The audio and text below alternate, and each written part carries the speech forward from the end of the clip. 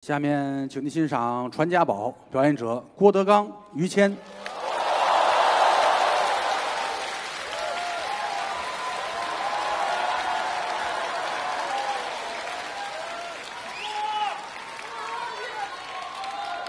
谢谢，哈哈，谢谢啊，多嘞，听见了啊，听见了啊，哎，好着呢，嗯，谢谢啊，哎，那就行了，嗯，那我就放心了啊。刚才是靳鹤兰、朱鹤松，小小哥俩，我俩徒弟啊，唱的板儿啊，对，最后唱的这个《同仁堂》，是。他唱的也不是那个老的那个《同仁堂。哦，这是新改的词》，儿。后来我改过一版。哦，您自己改的。可？是那会儿啊，郭麒麟说相声的时候，说这个按那个唱，我唱不过他们，哦，有没有别的办法？我说爸爸给你改一遍吧。呵，啊，我给他调了一遍，嗯，他挺高兴啊，哦。拿着词儿就拍电影去了，嗯。哎，这嗨，哦，就没说，就没唱这个。这后来是他们上家去，嗯，说大林不唱给我吧，我说行，谁唱都好啊，让他们唱，多一个新的版本。是。啊。当然了，郭麒麟没说相声，拍戏也挺好啊。那当然，啊，这个于老师是我儿子拍戏的榜样。我琢磨琢磨这话哈，不是不是，您别往歪处想啊，啊是，因为于老师在中国相声界演戏来说，人家算是最有出息的。哎，您不敢当，哎，当不敢当？拿过奖，哎，哎，那那年在澳门是吧？是是是，电影节还拿个影帝，哎，那很厉害呀！啊，哎，您客气，这个叫什么金菊花奖啊啊？是什么？很厉害金，菊花奖啊，铁菊花呀？没听没什么铁的干嘛呀？什么的？金莲花奖，金莲花奖对，拿了影帝了，哎呀我是，捧嘛，真好！我这辈子是拿不了影帝呀。您不自信？啊，我努努力，我拿下俩影后可能还行。哎嗨，嗨，后来郭麒麟回家还说了：“您看我师傅拿影帝了。”我说：“儿子，不要往心里去，是吗？不要成为压力。哟，拿不拿影帝，你也是我儿子。哦，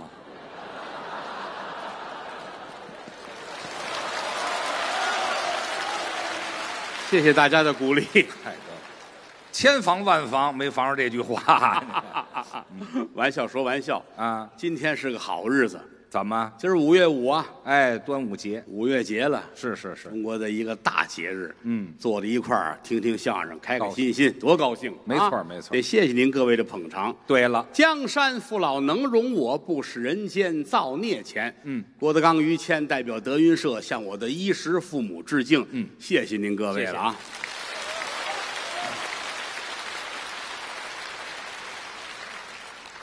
一眨眼说相声说了那么些年了，嗯，在后台看着于老师都有白头发了，我非常的感慨。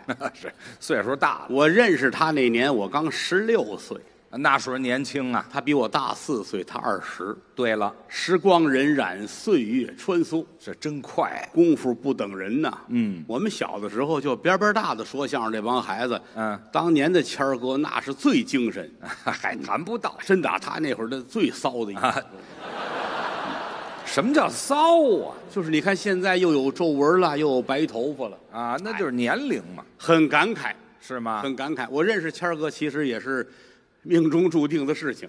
哟，怎么谈到命了呢？我打小啊，啊，我是七岁学评书，哦，哎，我九岁呢，呃，说相声。就从艺，啊，到了八十年代末，说相声不挣钱，我还跟他们出去呃唱戏去，干了这么四五年，哦，还唱过戏，别的也不会，就指着传统艺术把我养活到今天。哦，最难的时候其实就是十六岁那年，呃，进北京那年，就是那年，就是进北京，这都你怎么想起来进北京？是。我家在天津，对呀、十六岁的时候说相声不挣钱，是。那得活下去呀、得挣钱啊。很多时候就是一句话能够点醒一个人。您就是凭着一句话点醒您吗？我们邻居有一个叔叔，哦，啊，他跟我说：“小子，你记住了，人挪活，树挪死。就这么一句话。你在这儿待着没有饭哦，啊！人现在不都讲究北漂吗？是说相声的、唱歌的，甭管干嘛的，演电视剧的，对不都上北京发展吗？叫飘在北京，对呀，是条好狗也得上北京叫唤叫唤去啊！啊，得展示一下。就是当时人家跟我说这句话，真是打动了我哦啊！这这个邻居这个叔，其实这都是缘分，哦，就是后来谦儿哥的岳父。哦，就我媳妇儿的父亲。对对对对，你看我这么些年在台上，我有时候呃真真假假开玩笑，哎，谦儿嫂怎样了吧？呃，谦儿哥他爸爸怎样怎样吧？那都是瞎编的那都是假的。啊！你看我我为什么没有提过他岳父？您说说，因为我真是不忍心说他老人家，哦，就嗯因为他好他对我有恩，我老我老记着人这句话，就是因为这句。就是他告诉我，你去北京发展吧。哦哎呦，就到今天回头想，没有人家这句话，我可能还在天津待着呢。啊，还闷在天津。哪有今天咱们在一块儿这么乐呵？是是是是不是？我记得特别清楚。他怎么跟您说起来？他就是说你你得去，不去不行。我说我找谁去？啊，他说我认识北京小孩儿说相声的，那时候就认识我。刚二十岁于谦儿，你找他小哥们一块儿混，哦成不成的呢？反正哪怕回来之后以后老了，扪心自问，对得起自己。对，不后悔。要不你老得倒磨这事儿，是是打动了我。啊，您说嗯开窍了，他岳父就亲自送我上天津那个长途汽车站就奔北京来。啊，小子，我明儿送你去，你得去。嚯，我到现在还记得，我那天穿的可规矩了，你这要进北京了吗？啊，穿个白衬衣、蓝裤子、白球鞋。哦，很规矩。那个年头就是这穿的很得体了。是是是，他岳父穿一大背心儿、大裤衩儿，那送站嘛。穿一拖鞋，是送我上那个天津长途汽车站，哦，就就在眼前，这画面就在眼前。记得他岳父那个背心儿上，嗯还印着一个鳄鱼。那那时候那是个牌子啊，那个。你说这得四十五岁往上的人应该知道这个哈。对，那会儿不管是 T 恤衫呐，啊大背心儿上面讲究有一鳄鱼，啊，这就是这牌子。还正经呢啊鳄鱼这脑袋冲哪边儿？什么盗版的、正版的呢？哎，这假的多 啊啊。啊！岳父这个背心儿上俩鳄鱼，嗯呃，俩 生怕人说的是假的，你对知道吗？一个脑袋冲这边，一个脑袋冲那边。对，我把你们嘴堵上，对对对，大裤衩上也印的鳄鱼，全是鳄鱼啊！鳄鱼、手工、壁虎、科莫多巨蜥。好家伙，这点两栖动物都让他印背心上了我说为什么要印鳄鱼呢？啊？小子，你记住了，怎么着？鳄鱼这个东西很奇怪，怎么奇怪？六个月不吃饭还能活，哦，五脏六腑掏出来搁在边上，这个东西还能爬好几个小时。生命力强，人不得向他学吗？这倒是。此一去山高路远，到了北京没人管你，小子，你得按着鳄鱼那么活，要受苦你要坚强，啊！受用到今天说的对，啊！长途车在那儿告诉我，来，爷们儿，我最后一次啊，我帮助你。怎么着？你上车的人多，那个年头，哦，长途车人也多，那怎么帮？往前冲，你跟着我，我得让你上去找一好座儿。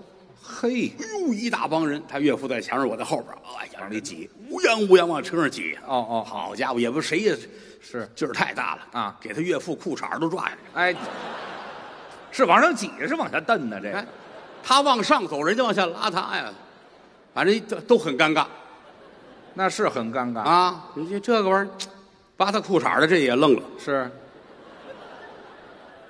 你看，啊，你怎么连内裤都不穿？管着管不着你，谁让你扒他这裤衩来了？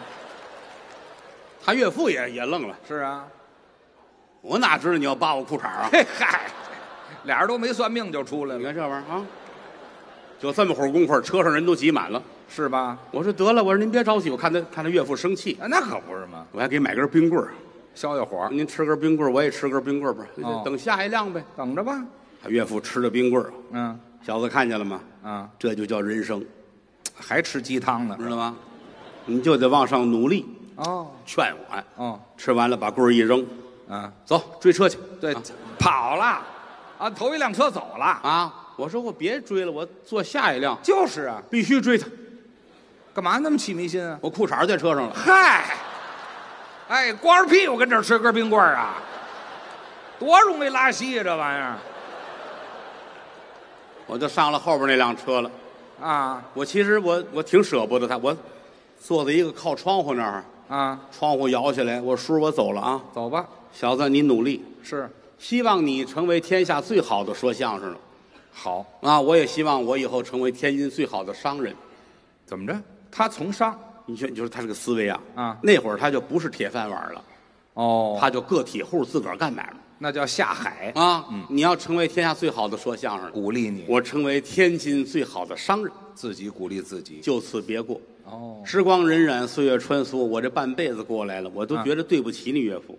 哟，您很可以了，我没成为天下最好的说相声的。您也是客气。这个中国相声界比郭德纲强的，比德云社强的有的是啊。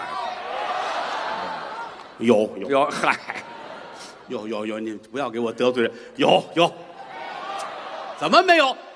郭麒麟不行吗？啊，这是啊。哦，哪有最好的？一啊定还有好的啊！啊但是他岳父做到了，做做到什么了？他老人家是天津最好的商人。哦，经商经商做得好，为什么他们两家在一块儿就门当户对呀？怎么就门当户对了？我说一件事儿，您就知道他岳父现在在天津的身份。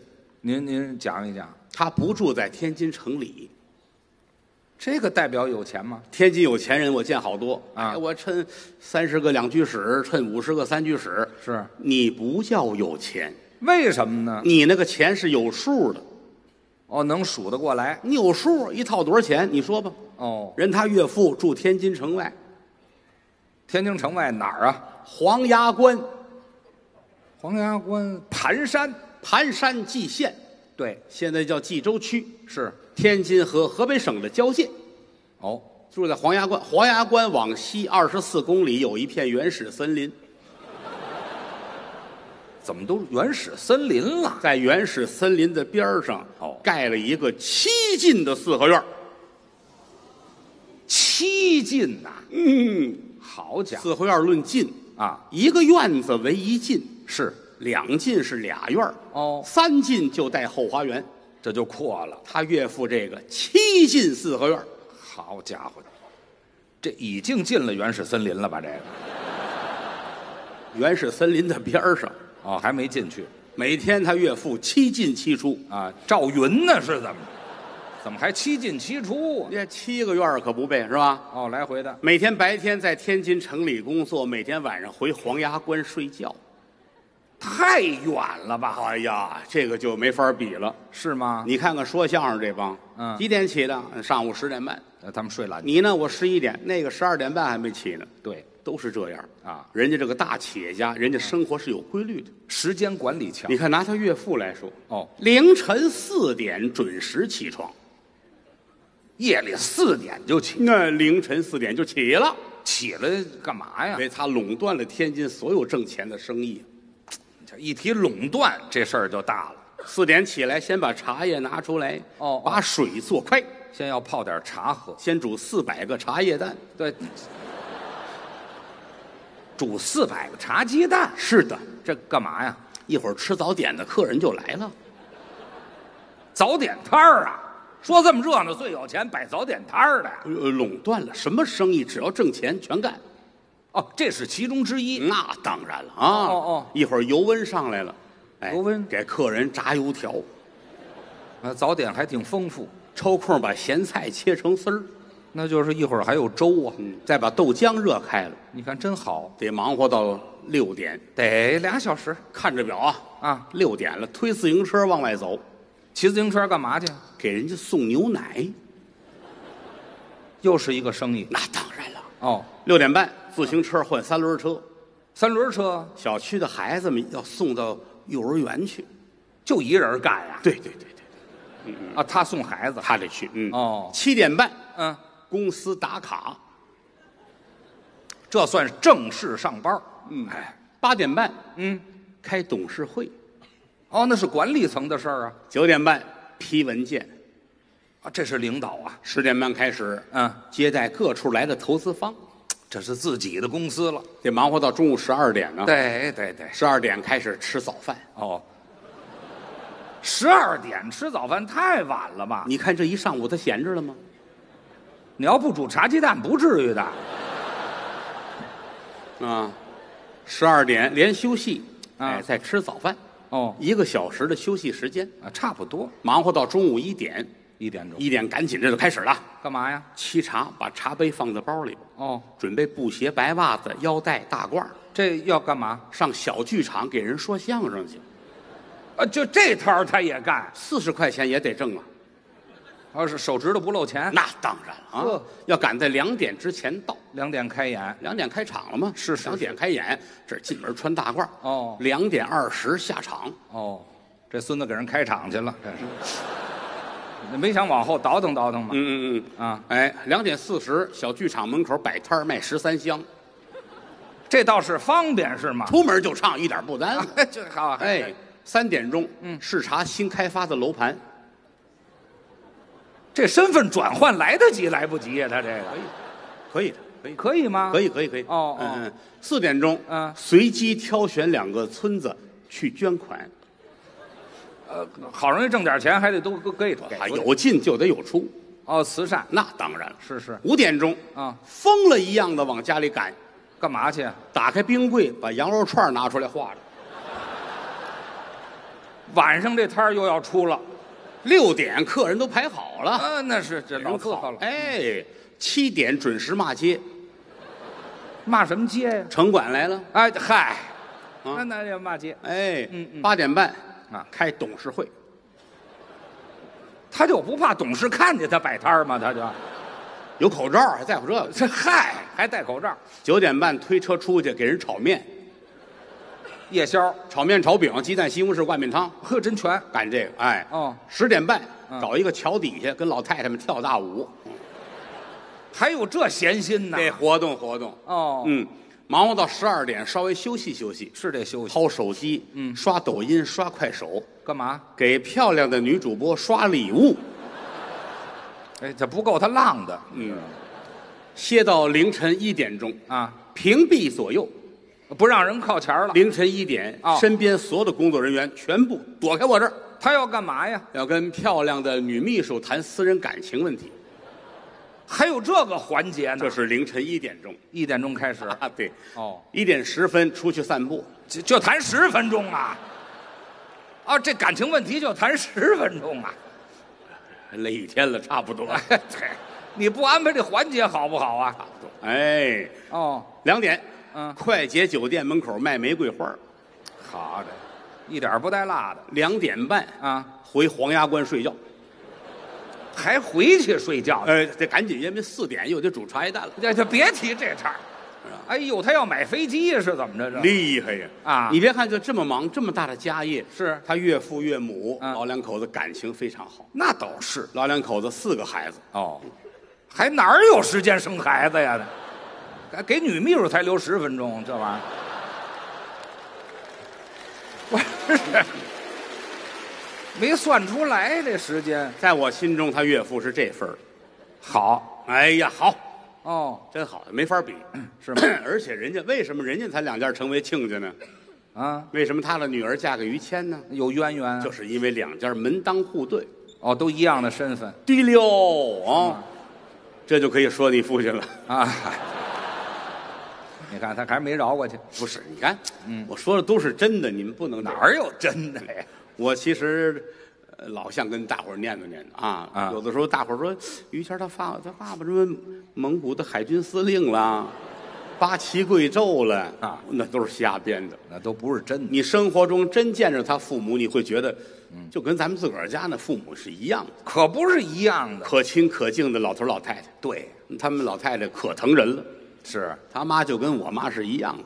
没错。老太太哪儿都好啊那除了就是呃身体有点虚，有点有点贫血，这老太太没有毛病。哎，那岁数大了，她老太太贫血，是，没事儿了就蒸点胡萝卜吃啊，那是补血的。啊。我上家去，老太太蒸点胡萝卜吃，对对对，说补血没错啊，还吃什么那个蒸红薯啊，是，反正那是红色儿的嘛，红薯中国人都讲究这个。啊，吃火龙果儿对啊，嗯，吃血豆腐，嗯，那就也是补血嘛。拜关二爷，嗯，拜关二爷，沾红就算，嗯，红脸儿也算。对对对对对，老太太可爱，老头儿更可爱，老头儿，老头儿文质彬彬的，他是有学问文质彬彬的啊啊啊！尤其夏天上家去，啊。哎呀，那个小老头儿戴个金丝眼镜儿，就 特别可爱。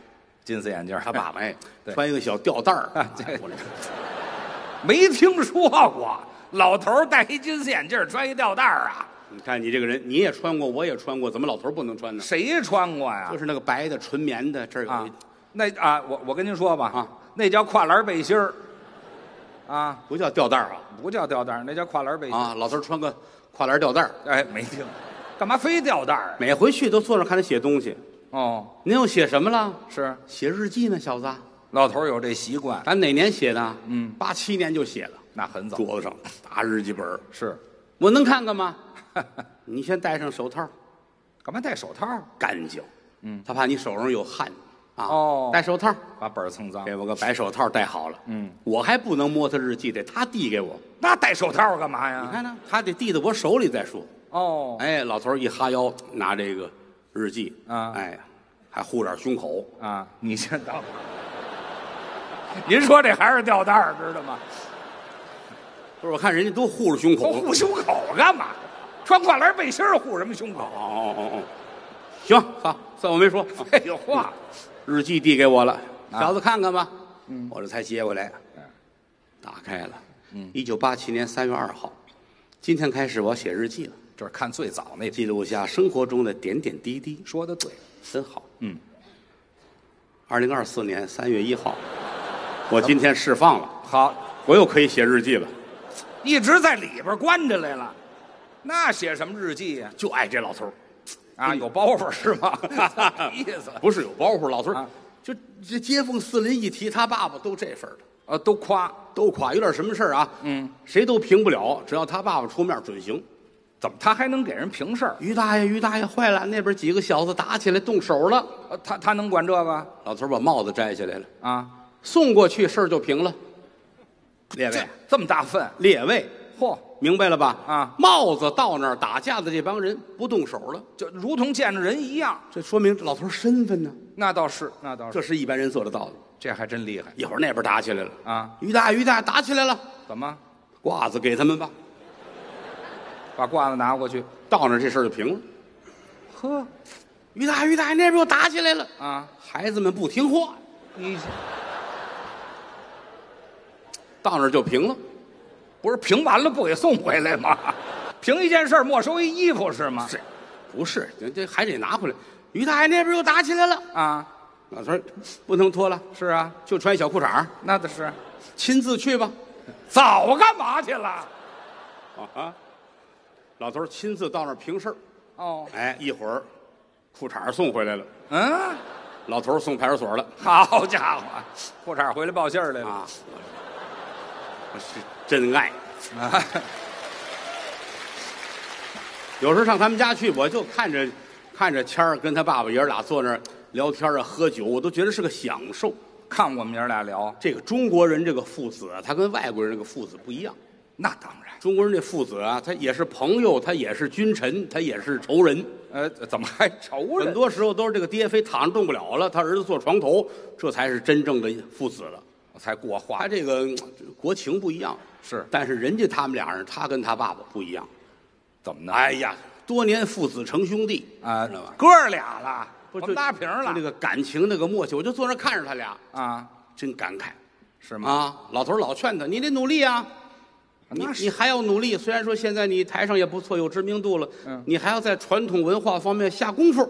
人家说的对，哎，这个相声会说，快板也得会唱，是山东快书也得行，都要打鼓也得会，哦，古彩戏法你也得练练都鼓励我。啊！来吧，今天我没事儿咱爷儿俩练练古彩戏法。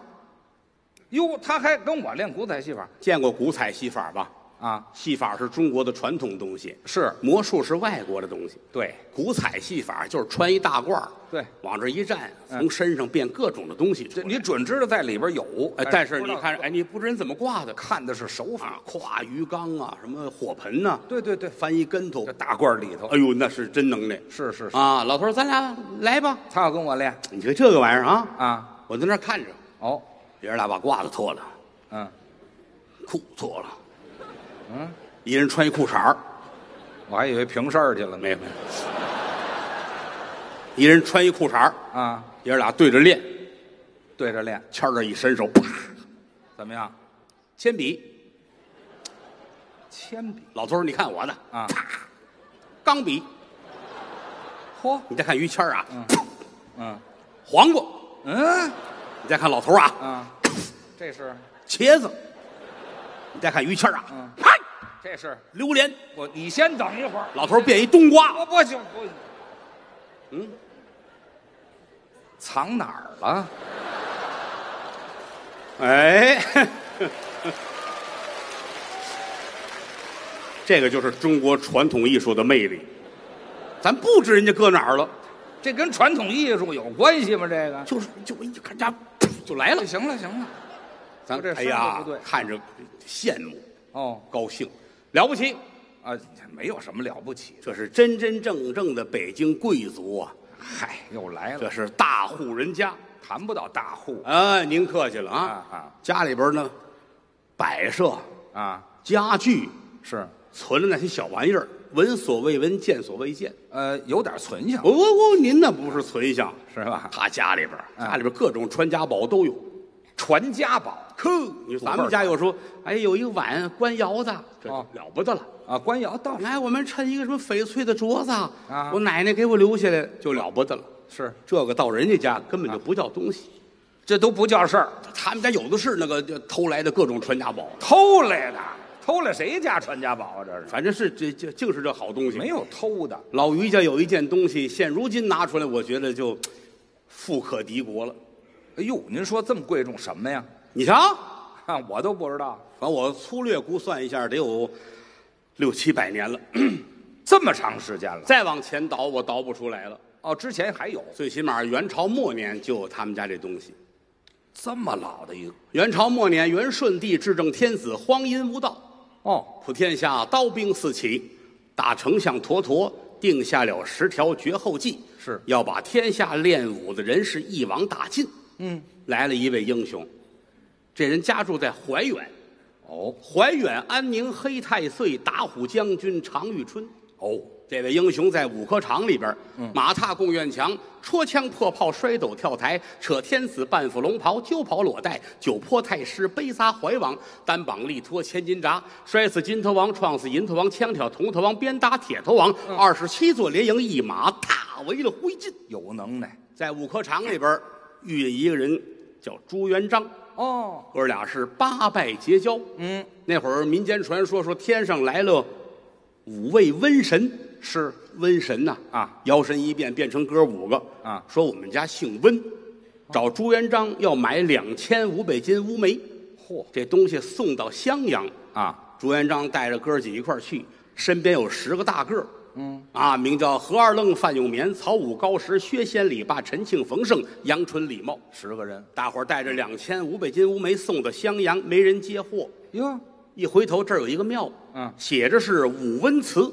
哦，进去之看，里边哎呦，五座瘟神的像。在这儿朱元璋磕了一个头，五座神像全倒了。嗯襄阳大乱。嗯，就这些个瘟疫全起来了。哦哎，但是巧就巧在乌梅是治病的，嘿，挣了钱了，名声大作。嗯，并且去到王府给襄阳王治病，才引出来了菊花会一体反诗。菊花会上这个宝贝现身了。哦，他出来了，哎，就落到朱元璋手里边儿。啊啊。到后来，朱元璋推倒大元，建立大明，他就是明太祖。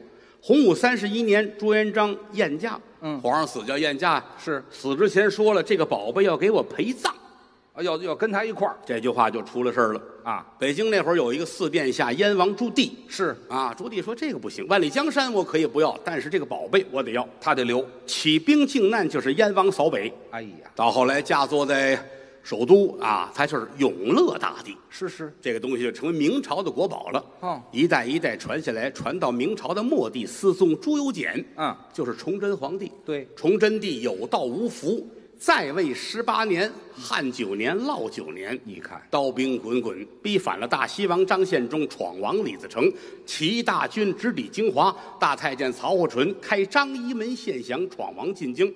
崇祯帝擂鼓创钟，文官不见，武将不朝，万般无奈。身边只有这秉笔大太监，他叫王承恩。嗯，君臣二人跌跌撞撞来在了景山之上，刻破中指，写下血书。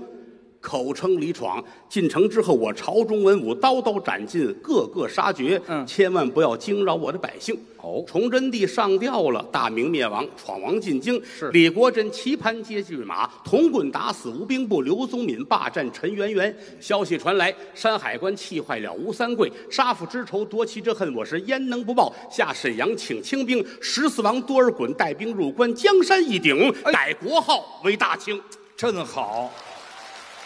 这个历史啊，这东西这个东西就成为了清朝的镇国之宝。传下来了。传到顺治嗯甲子年八月，有一天清库哦，清库底儿发现它了。是顺治皇帝看完之后，眼泪下来了。怎么？哎呀，有这个东西在，我不能在朝里待着了。哦五朝门外写了几句话。嗯啊，悔恨当初一念差，黄袍换却紫袈裟。朕本将这一大死，因何落入帝王家？哦打这起皇上都不干了，上五台山当和尚去了。出家了。这个事儿就没有人再敢提了。嗯嗯。一直等到咸丰年间，你们家有人做了官了，哦你的高祖，哦，那那辈儿上的高祖就是你曾祖的父亲。是是啊是是，这个差六辈儿吧？呃，得是六辈老儿北京讲话，好家伙，你缺德缺六辈儿，就这谁缺德缺六就差不多六辈儿了。啊？这个高祖很厉害，怎么厉从小有神童之美誉。嗯十六岁进翰林院，身为编修。是这一日正在抄书馆中奋笔疾书。嗯内廷总管说说淑妃娘娘有请。哦，你高祖吓一跳，是这个淑妃娘娘可不是一般人。怎么想当初西域有一科了国，欠我大清三年共享，万般无奈，嗯近来美貌女子西勒玛雅伊斯拉巴汗。这这什么乱七八糟的？倾国倾城啊皇上一见此女，大吃一惊，好一次凉水浇头，怀里抱着病，哎，要唱杜十娘，这皇上就把她封为了淑妃。嗯在朝中权势熏天。哦今日无故选召，为了何来？嗯，你高祖急忙忙整冠束带，来在了内廷。哦但则见碧沉沉，琉璃造就，明晃晃，宝顶妆成，楼台殿阁，雕梁画栋，好一派人间仙境。漂亮。往这儿一跪，嗯，娘娘，微臣在此候旨。哦，娘娘乐了，说朋友你好吗？这是什么味儿？这是哪国娘娘？这是？娘娘普通话差点啊。嗨，宣才来有原因，你说事儿要把这宝贝送给他，啊啊！就这个宝贝送给他了就。到你们家了。哦，抱回来其实是很为难的，怎么？有心要吧，这是皇上家的东西；是是，有心不要，娘娘赏的。不能不要。包了又包，裹了又裹，嗯在你们家后院埋波树底下就把它埋好了。哦是指望后辈儿孙吃这个就吃不清。是是一直到庚子年间，嗯一九零零年，义和团反清灭洋，在北京东城西总部胡同打死了德国钦差，叫克林德。嚯弄恼了八国联军啊，攻破了北京城。嗯八国人进了北京，皇上就跑了，是文武大臣也跑了，保家的、帮闲的、说相声的全都跑了。哎，好，啊全跑了就完了呗。八国进北京，你站南，我站北，他中东，他站西，嗯就把北京城就给分了。哎呀那时间你们家住在前门外前门大街，是有八条大胡同，嗯，就这八条大胡同，都谁那八条大胡同？怎么又出来这八条胡同？有八条？没有啊？没有，不住那儿你们你们住街那边，啊？对，前门外前门大街大讲究胡同往前走，奔右拐，第三个门就是你们家。他知道哎呀，那会儿正是乱的时候啊！是是啊，你想啊，这个出了事儿了，德国人在北京到处搜捕义和团。哦。当时北京有四十五个说相声的联名举报，说你们家私藏义和团。你看说相声就干这事儿呢嗯嗯。瓦德西一听怎么了？啊！有人私藏义和团呢，哦带着德国兵上你们家就来了。哦这屋搜那屋找，这屋瞧那屋看。嗯推开门就看这宝贝了啊，烁烁放光。嚯当时哦，吓死了六个德国人。哎呀，瓦德西抱头鼠窜，屁滚尿流。嚯打这儿起也不插街了，也不搜义和团了，没事儿了。一直等到各国公使联合签字的时候，唯有这个德国不签字。哦当时大清朝全权的负责人叫李鸿章、李中堂。嗯一瞧德国人不签字，吓坏了啊哎呀，瓦德西将军为什么不签字？是难道说还有什么要求没有提出来吗？啊瓦德西摆手，哎，非是我国不愿合约，哦只皆因在前门外前门大街大讲究胡同往右拐第三个门有一家人家儿啊，记得真清楚。据北京说相声的举报，他家啊有一件宝物，无故放光，吓死我国士兵。啊若有此物得一治，绝不合约。哎呦，内务大臣慌忙跪倒，口禀中堂：是方才瓦的西将军所言，确有其事。在北京前门外前门大街大讲胡同往前走，往右拐第三个门。这这别说了，这啊贫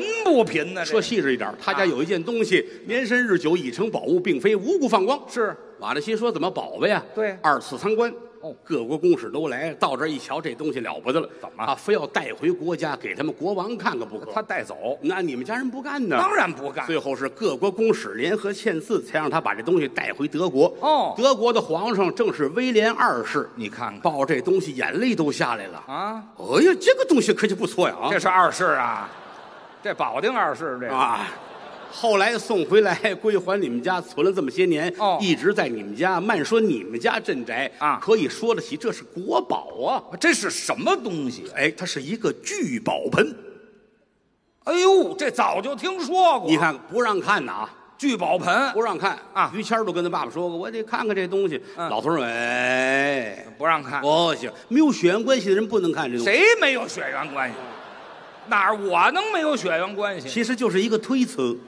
拿这当推辞啊？哎呦，不能不老老头儿太没溜了。啊，不能看，不能看啊但是啊，是，我看过一回。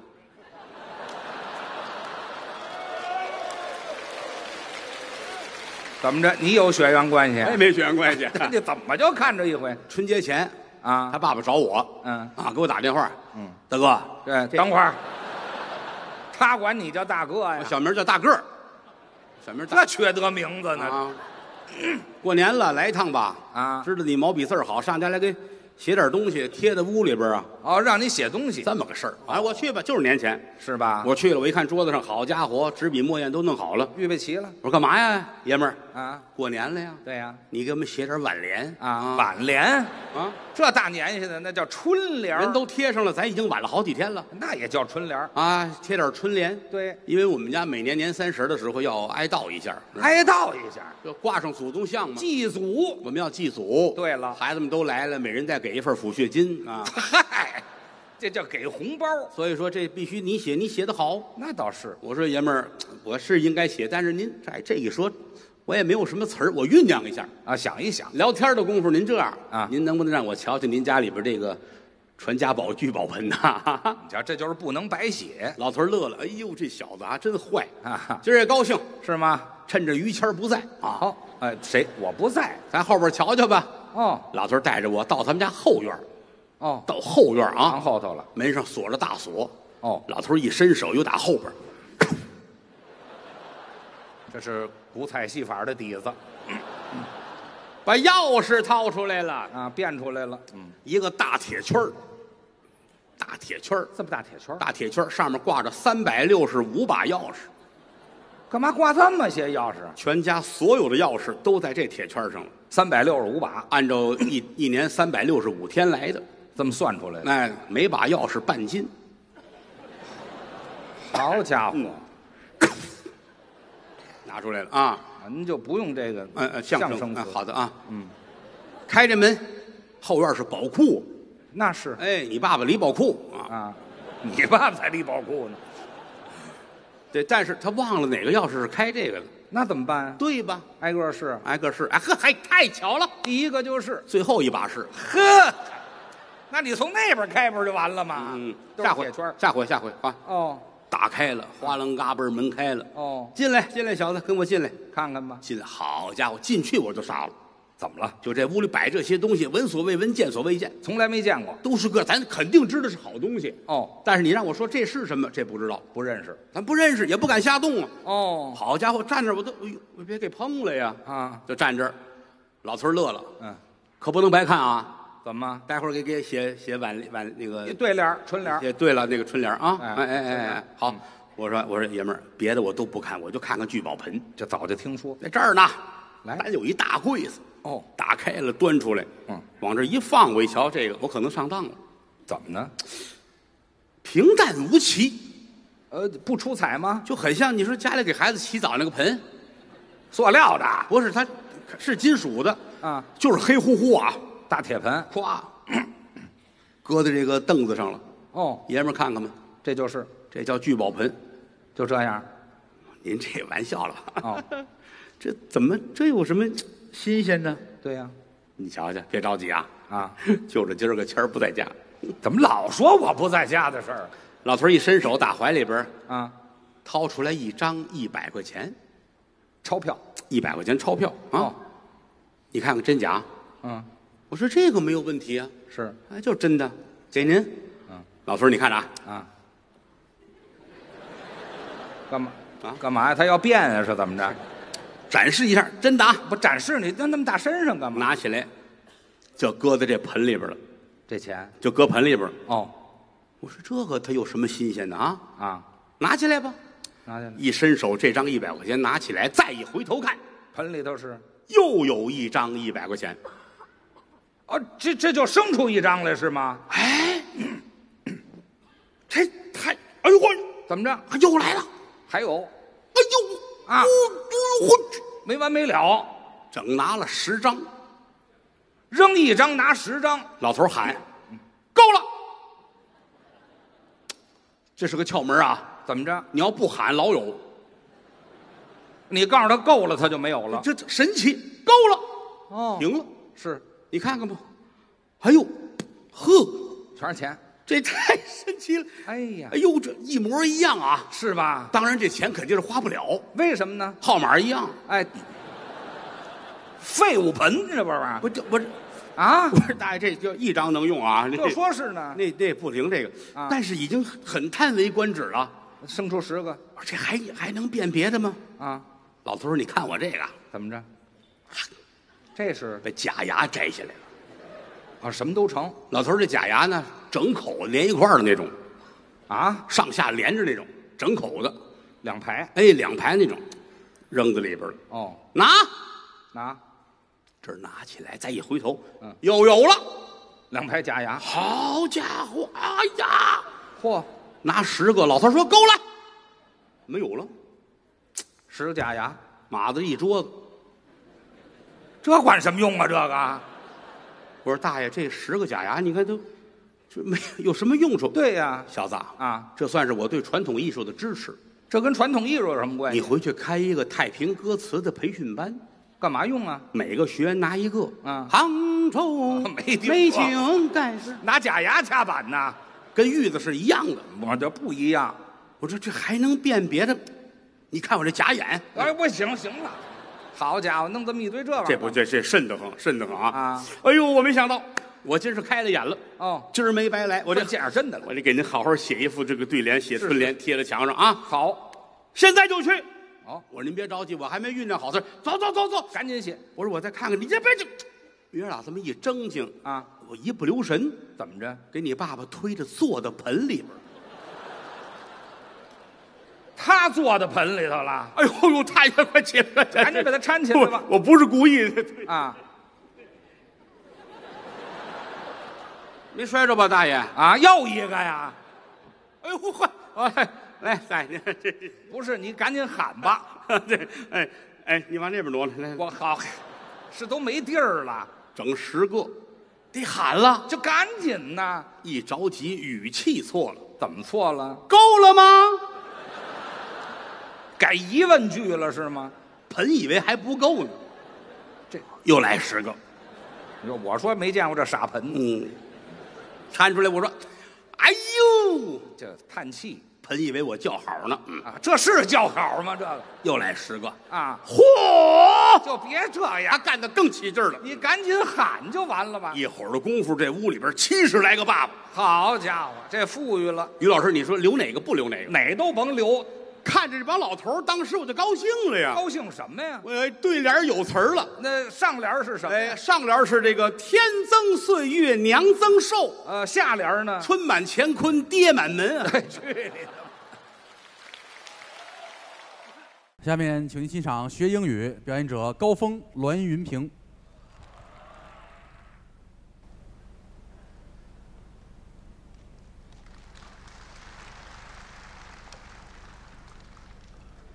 大家也都听累了，是吧？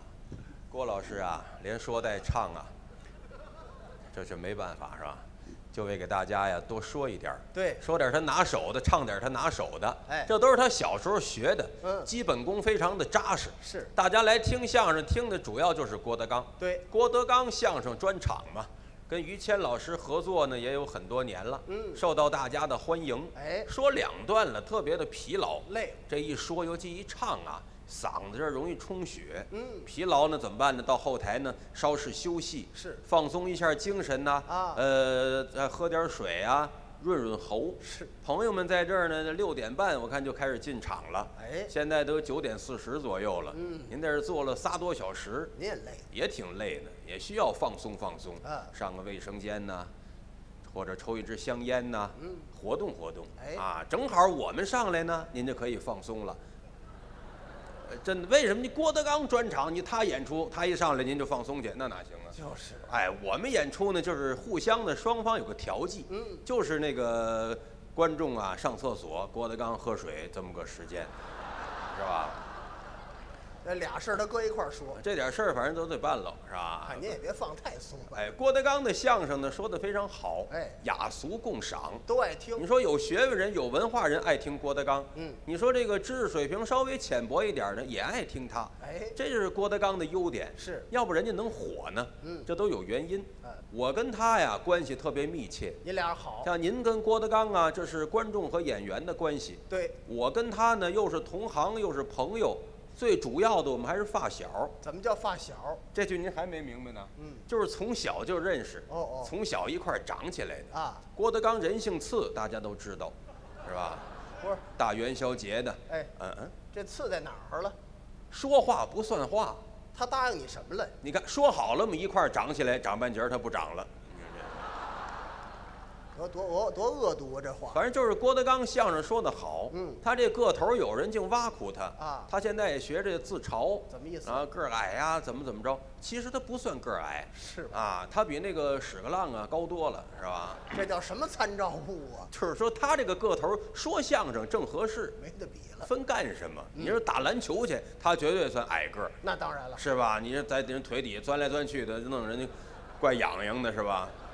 一般就不让他上了。怎么怎么你痒痒过是怎么着？但是他说相声往台上一站呢，不能太高，太高他晃悠。对，那我们这儿有个演员叫谢金，嗯，个儿达到一米九三大洋马，啊，一米九三不傻就尖。你说说相声，在台上观众感觉哟呵，老想扶着点儿他，怕他倒喽。个儿高啊，个儿矮啊，他都说人家。郭德纲说相声站台上特别好，嗯有台缘儿，哎有人缘儿，观众喜欢他，是，这就是能成功的原因之一。嗯啊，这是我们后台来说，我们慢慢说，您慢慢听啊，因为郭德纲需要休息，让他好好休息休息。对您也换换脑子，嗯啊，唱半天了，给您说一段，那可不是吗？对不对嗯？讲究说学逗唱嘛。郭德纲跟于谦合作年头很多了啊越来越默契。对，为什么呢？下功夫。嗯，不是说年头多了俩人就默契，不是，哎。你得下功夫。你得练习呀。他俩没事经常练习，嗯。啊，经常的知道，哎，谦儿哥有时间吗？有时间，有时间的话，俩人经常在一起排卵排练，哎呀，排练啊，在这个，哎，啊同志啊，哎，您好，咱这嘴里可不能随便说呀。排练，排练，我这一过年吃的多了，我这有点不利索，是，嘴不利索。他们主要没有那个功能啊，啊，就是多功能厅里头吧，多功能厅里头。排排练。排练排练就是对词儿吧，简单就是对词儿吧。对对对哎，在北京郊区那儿有个仓库这个仓库有多大呢？跟我们这个舞台比啊，有五分之一这么大，嚯，挺。挺小的。嗯在郊区，每到周六或者周日，俩人上那儿去。嗯，我说这个这不是相声，也不是笑话啊，真事儿。哦哦，俩人上那儿去，嗯，早晨十点钟左右就到那儿了，开始了已经。啊，晚上十点半左右才走。一圈儿了。每周如此，日子不可长算，要不人家能成功呢？对，就在原因就在这儿。嗯，那回闹笑话了，您讲讲上午十点钟俩人去了，啊，到晚上十点还没走呢。怎么不走啊？新拿一词儿啊，岁数大了背着费劲，这俩人也笨点儿。对节目认真，嗯一天没对下来，嘿，累了，精神很疲劳嗯。郭德纲出个主意，说谦儿哥，咱俩对一天词儿太辛苦了，嗯，放松放松，打个赌，打个赌行吗？于谦儿说行，你德纲你说咱赌点什么？赌什么？谦儿哥看你敢不敢，把身上衣服都脱了。于谦儿一听郭德纲你要干嘛？这么多年我没看出来你跟我是一样的人。这什么朋友这？谦儿哥，你先记上，先记，先别过来，你别乐，别乐，先别乐。好，等不了了已经。不是我，我没别的意思，就是你呀、把身上衣服都脱了，出门绕着咱这个小屋，你跑一圈儿你敢不敢光屁股跑一圈儿你要敢跑，我给你两万块钱。嚯，于谦儿一琢磨，哦，感情是出去跑一圈儿看我有没有这胆识。没问题。嗯，一琢磨这地方在郊区，又偏又远，甭说摄像头，连路灯都没有，嘿呀，行人稀少，根本不上这儿来。嗯，来跑跑一圈一分钟，挣他两万，是挣个酒钱，对吧？你说的啊，脱下脱，脱一丝不挂，衣服往那儿一搁，叮了当啷来到门口，推开门一看，等会儿，等会儿，等会儿，一个人都没有等会儿，等会儿，人儿是没有，脱一丝不挂，哎，全脱，这叮了当啷什么动静啊？你这甭管了。到门口一看呐，别别一个苍蝇，别别别抒情了，先别抒情，怎么了？说这叮了当啷什么动静儿？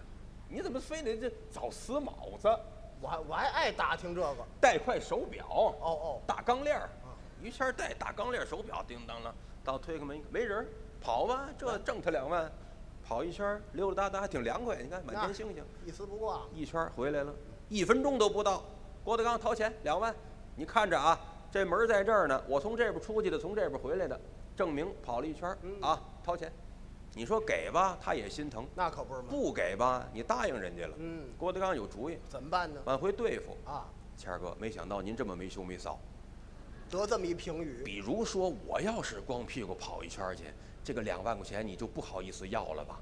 哎，他拿话堵他。后道给他堵死了。嗯，于谦是后道人，一琢磨，行，德刚你跑一圈去，哎钱我就不要了。嗯哎，要你这句话。呵好郭德纲拖，拖一小黑胖子，你往那一搁，叮了当啷来到门口，推开门，也带块手表，他从来不戴手表，不是一个不是？那这叮了当啷呢？手串儿，戴一不锈钢的手串儿，是吧？那玩意儿盘得出来吗？咱不懂的，反正那那玩意儿金属的那个，那么没人跑。郭德纲心里说，跑完两万块钱就回来了。好，刚跑半圈儿，坏了，怎么了？对面来四个巡逻的，干了，拿那手电筒十六节电池的，探照灯一样。冲着郭德纲，哎，干嘛呢？黑更半夜不睡觉，光屁股瞎跑什么呀？刚才你出来一回了，我就没理你，怎么又出来了你？一笑大方两回全是他了。啊！但是说你侧面的反映人家下功夫，哎，经常我说真事儿啊，我说的全是真事儿，嚯，真开过这种玩笑，真出过这种出过这种丑，真光过眼哎。，真有这尴尬的时候。嗯但是呢，不为过分。怎么不过分？你看俩人是排练之余，哦哦不是纯为开玩笑啊所以人家火了，这是有原因的。是，郭德纲火了以后，咱实话实说，经济收入直线上升，这挣钱多呀。生活条件改善了，嗯，会挣钱还会花钱，哎，值得学习。有人光挣钱攒着不成，会买房子，买汽车，买那房子叫别墅，是，家里住别墅，您听听，五层楼。五层你说人家一家儿自己一家子就住五层楼，多阔呀！地下四层，这种户型可着北京。我告诉你说啊，这是停车场啊！停车场干嘛您？说反了，地上边是四层，地上四层，哎，地下四层。他这就合八层了，他哎，这这怎么我没住过？地下一层，一共五层。对家里有些五层别墅啊，光建筑面积就一百七十多平方米。他们家住炮楼里边，怎么又住炮楼？你老补刀这不行啊！他这好愣起高，他这个，哎，这什么姿势？好，他这愣起高，这袭击别人合适的。不是起高啊，反正是多少七百一十多平方米，哎，反正挺大的吧？是挺挺大的，说句什么挺赫亮的是吧？哎四面都有窗户，人家里的采光好，好大别墅四面都是独栋啊，这叫独栋啊。他们家是鱼缸呢，鱼缸干什么呀？谁家四面没窗户不啊？，你你们家四面都有窗户吗？四面有窗户，人邻居干吗？哎，对不对？人家独栋，哦这整个这一栋四面都有窗户，这意思，窗外边都是沙漠，你知道吗？人家家里边有钱，这叫什么玩意儿啊？这叫住沙漠里边啊？谁住沙漠里干嘛？人弄那沙子田上种点花儿的，人家是种的花儿。好家伙，家里边有钱住别墅，嗯，了不起，开那车都豪车，嗯开那车叫什么？外国车叫马什么马拉伊蒂，马拉伊蒂，你说这车现在好买吗？是不是？这马主要是不好找，车玛莎拉蒂有这么个车，玛莎拉蒂，对跑车，嗯对吗？是玛莎华晨玛莎拉蒂，你郭德纲，你说挺好车，华晨的，他不会开车啊，他雇那大龙龙啊、二虎啊，这他的雇佣给他开车，全是动物。对吧？还有小猴啊，这嗯都给他开车，是对吧？还有那个车叫什么？这个马马马什么达？马达？大马达？马达，就是马什马什么达？那有个叫？马自达，马自达。这不是什么多高档的车，马自达里也有好车呀，但也是中上了，对吧？好马自达呀，华晨好马自达，对吧？听着都跟瞎编的似的。家里有没有马自达？有马达，马自达呀，华晨好马自达没有，好马自达呀，好马达还有那个那个车也不错呀，那叫什么什么尼，什么基尼，比基尼。哦，比基尼有这个他就不开了，他就穿了。车四个字儿的，有个叫兰博兰博基尼，兰博基尼，华晨兰博基尼，全华晨，这都外国车，外国车你得说那外国名字，外国名那个车叫什么？这 Gold Gold Cup 这什么车呀？Gold Cup 这是金杯，华晨金杯，我还真头回听金杯叫 Gold Cup Cup Cup Cup，华晨金杯，这人有啊，又能拉货又能做人呀、多好多方便多实惠呀、总而言之，言而总，家里有钱，嗯，家里有车有房，嗯对不对？人住那房子挑高，比我们这剧场还高，多多难换灯泡啊！好几层楼啊，就了不起家里头。但是，一有钱了，咱实话实说，思想容易膨胀，哪儿又犯错了？认识人也多了，哎认识人一多，男的自动过滤是吧？女的这里头女明星啊、女歌手啊、女演员呢、女模特啊、女主持人呢、女个体户啊、女失业人员呢，就相当的多了。他都不挑职业，这一多呢，他里边保不齐他就有好看的，那可不是对？吧？趁他媳妇儿不在家，老往回带。哟，那天带回一个来，这怎么样啊？啊，带回一个来，俩人拿脚把门咵一关，在客厅里搂着，搂着，刚一搂着，坏了，这是听里屋门响，嗯嗯嗯嗯咣啷啷啷啷啷啷，门开了你，说挺有钱的，换换荷叶多好。要这劲儿，就要这劲儿，这劲儿是个报警器，哦跟那门把上搁一玻璃杯，那一开吧唧杯掉了，报警器。你这方面挺熟练呀。都跟他学的，跟郭德纲学的。一听滋妞一声门响，郭德纲心一哆嗦，他以为他媳妇儿回来了。是吗？为什么房间多呀？回来进那屋，他哪知道啊？嗯，回头一看，心里踏实，不是他媳妇儿，谁呀？郭麒麟。哦他那儿子。哎，不是现在，头些年郭德纲刚火那十来年前了吧？嗯嗯郭麒麟不是那么现在这小鲜肉啊那时候又矮又胖，小肥肉，又矮又胖，这么高，这么高，挺胖，小小眯缝眼儿，对，小眼睛，那时候不好看。挺可爱的。郭德纲搂着这女同志，回头一看，哎呦，宝贝儿，你怎么没上学去呀、哦，对了，我让你退的学。对，自己给自己刨一坑。这是爸爸的朋友啊，你叫阿姨就行，叫阿姨。爸爸跟阿姨逗着玩呢，这不逗着玩吗？你跟你同学不也老逗着玩吗？是吧？全穷逗。别看这个，给你一百块钱，出去上网去，走。郭麒麟那时候十来岁啊，正需要网络的刺激，嚯，好家伙，拿着一百块钱不走，不动会儿，看着郭德纲跟那女的。而这吸引人。这倒霉孩子，你这爸爸跟阿姨逗着玩呢，再给一百啊，上网吧，比这刺激的有的是，看去走。这怎么教育孩子？您说？那玩游戏比这不刺激吗？郭麒麟拿着二百块钱，小胖子眯缝眼儿，还没走，怎么回事？爸爸生气了啊，我告诉你啊，再给五十啊，二百五走，打游戏去。爸爸跟阿姨逗着玩呢。嗯，郭麒麟拿着二百五十块钱没走，还不走？不光没走，说句话，郭德纲吓一跳。怎么这是？爸爸，我不走。为什么？上次妈妈带个叔叔逗着玩，还给七百呢。哎，朋友们，我我说我说这都真事儿。都真事儿。为什么呢？上回那七百块钱是我先垫上的。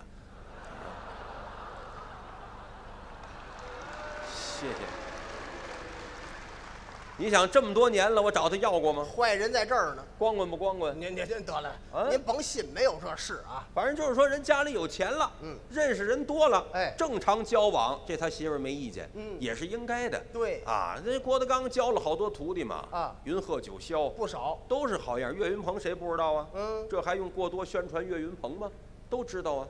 张云雷，人缘多好啊，大家喜欢。陶云胜哦，有没有啊？。有。李云迪，是吧？哎呦，马云，啊，这个赵云，怎么？云字科，云字科的徒弟这赵云也是郭先生徒弟啊？有个云嘛，赵云大师哥呀，赵云啊，这这见云就算是怎么着？云字科我知道，咱别对付，咱说不全，说不全那。也别瞎说。贺字科刚才有展示的，晋贺兰、朱贺松，曹鹤阳，这对吧？对曹鹤阳、张鹤伦，嗯是吧？阎鹤祥、鹤顶红，啊，你都给他们毒死是怎么着啊？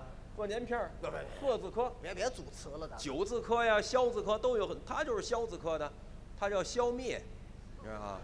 消不对，看来不对，我想把你消灭了。这不是马上更正吗？你别激动，消失，消消乐，你叫消可消可症，我就是糖尿病呗。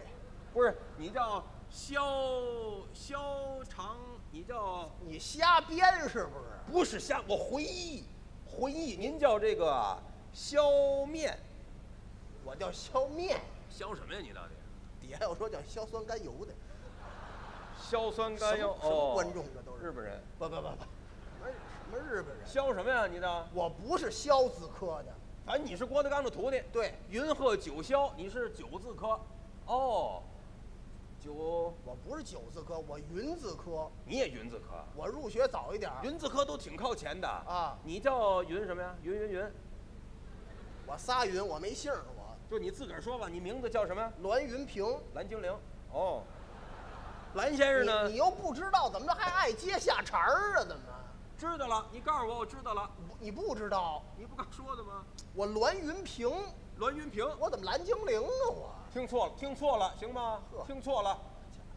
栾云平，对呀、对吗？是你吗？是说相声说的不错。您是夸我？郭德纲最喜欢他。嗯郭德纲是他师傅，是于谦儿是他师娘，对，你知道吧？不不是，你胡说八道。于老师是我师大爷，是你大爷，哎，对吧？我们关系好，郭德纲、于谦，全世界最有名的相声演员，可以这么说。也是最有本事的相声演员。嗯这么两个演员每天教他说相声，是啊还有什么理由说不好啊？嗯，结果还是没说好，是吧？你说我多废物啊？你说哎，说的不错。是吗？说你没说好，是拿你跟于老师比了，稍微差一点儿，差得多。比同龄演员强的都多。嗯因为你也下功夫，哎，我也练习。老师也认真。是，他说相声不庸俗，哎呦，不低俗，呵有品位。您又表扬我。在我心里，这样的相声是好相声，呵，回味无穷。哎呀，什么叫回味无穷？就是您当时听栾云平呢，可能感觉不是非常可乐。嗯，别着急，好，等过两天呢，您就忘了？就这种境界，他不给您添麻烦，你知道吧？哎，你给我添麻烦了。我怎么给你我这相声不可乐，啊合着我不会是不是？您再说一遍。合着我不会。哎，你看我就想不出来这么恰当的词儿，你看，还是人自己了解自己。我怎么不会呀？我也有大褂啊，你自己说有大褂都会说我，都会说相声啊。对呀、这不你的理论吗我？没听说，我也我也演演出十来年了。演出十来年就会吗？再者说是你自己承认的你不会，我没说你不会啊。你人贵有自知之明，我刚要表扬你，你看不是您说我不可乐，过两天呢我这就忘了，根本人都没逗乐人家。哦，过两天还记着，都过那么长时间，谁的相声过两天也忘了呀？这不是挖苦你啊，这是什么词儿？这是？这是表扬你啊，不给人添麻烦呢。你你去你这么你表扬听郭德纲听完乐得肚子难受，你这对不对？听你跟没听似的，这不表扬你吗？这这等会儿好词儿。啊，好，你回家表扬你爸爸去吧你。挨着吗？挨着吗？你别急了，说着废话没有，您这不不叫表扬。表扬表扬你，有学问，我爱看书的人。行吗？啊，脑子聪明，对吗？这这对，敢承认吗？嗯，他自己都含糊，你这玩意儿，你不是这没有我想这么问。表扬他都没法表扬。哎，同志，没有这么问话的呀。我怎么问？怎么问了？怎么问了？不是你，你脑子脑子好，你敢承认吗？你这什么叫敢承认吗？你眼睁，你敢承认你就敢呢？聪明吗？聪明，敢承认吗？敢承认，那就行了。这不就完了吗？测测你。还测测呢？哦，你说你聪明就聪明啊？两千七百多位观众，哦，你说聪明人就信了？哪有那事儿？测试测试。今天知今儿什么日子吗？今天元宵节呀、元宵节，啊，看灯，对吗？对看灯猜灯谜，对猜灯谜的日子，啊，我我考考你，正好我测试测试你，来一谜语，嗯，来一谜语啊！你出去看那灯上就有这谜语，注意看着啊。哎，说在大海当中啊，这么游的，这是什么动物？哎，海马、好，够聪明的，是吧大海当中这么游的，水母、水母这样游，这样。咱这是这章鱼、章鱼这样，哎，注意方向，咱这是这那我还真不知道。五个海马一块儿游。你你看看那灯上就有，哪个灯上有这个呀？灯上有，怎么样？五海马就这么有啊？我们家灯上就有。这不叫这叫灯谜吗？您说这叫灯谜吗？这这这什么动物？这这叫灯谜？我没说灯谜啊，我可没说灯谜。我说你猜猜，你说灯上有这个？灯上有，我们家灯上有，行吗？啊，我还不去你们家，行不行啊？你这人脑子不诚实，他老不让不怎么样。，不怎么样。我我再测试测试你，问什么说什么啊？姓什么？栾，行，反应还真够快的。今年三十四了，知道自己姓栾，你看你这话你我这都听不出来好来话了。不行，这么回答算错。嗯，咱来回新鲜，来回刺激的，来回刺激的，也别太刺激了咱来回什么知道吗？啊！叫答非所问。我都不懂。你不擅长这个吗？嗯就是我问你问题不是吗？啊你该回答了吧？是啊回答问题跟我这个问话别挨上，答非所问，就算你对了，你这是我特长啊，对吧？这特意的，挨上倒算错，这是我特长啊一。挨上就错。说白了就是不会聊天儿啊，对，对对对，是吧？哎，就是必死那种感觉啊。什么意思？你再来举举例子。比如说吧，我向你提问，哎我说您吃过饭了吗？我说没吃，挨上了，我吃的元宵，有关系？现在不饿，不对，正减肥呢，别说了，先放冰箱里，就到这儿吧给。我腾腾。行行，你看各位朋友，您都听见了啊？我问他吃饭了吗？他说吃了，没吃，一会儿再吃。吃的元宵，你给搁在冰箱里，这都跟吃饭这个话题有关联。嗯，答非所问，问你这个吃饭了吗？你答案不能有关系。我怎么叫不能有关系？问你你吃饭了吗？我怎么答呢你？得说我有痔疮。这两句话字面上有关系吗？没关系，这就算对了。我等于我要介绍病情就成了。哎，你就可以不听我这问题，你随便说，好好挨上就算错，好好好好，也也不用多问啊。嗯，五句话，好，好咱就五个问题，你准得挨上。好好好。烦劳各位亲爱的朋友，您在这儿听一听。嗯您知道哪儿算错，哪儿算对？哎我问他个东，他说西，啊，越知越远，越算他对了。行嘞，啊，如果说他一挨上，就算他错。没没什么问题。他要错了，您给他鼓鼓掌，讽刺讽刺他啊。好五个问题啊，好嘞好嘞，开始了啊。嗯嗯，你贵姓啊？我有痔疮，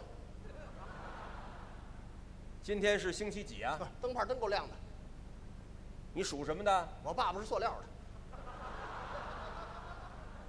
几句了？三句了。哎，你怎么样？哎，谢谢。这个脑子呀，说实在的啊，脑子太笨，哎这就没办法了。等会儿等会儿，这回这是大家都两千七百多人在这儿见证啊，哎，这是一个，接着来啊。不用来了，不用来了，怎么？已经挨上了。什么时候的事儿啊？你看，我刚才问你几句了我，说三句了，这不挨上了吗？哦挨上了这是。，对，挨上了。这就挨上了。对吧？你看，你看，这是第四句啊。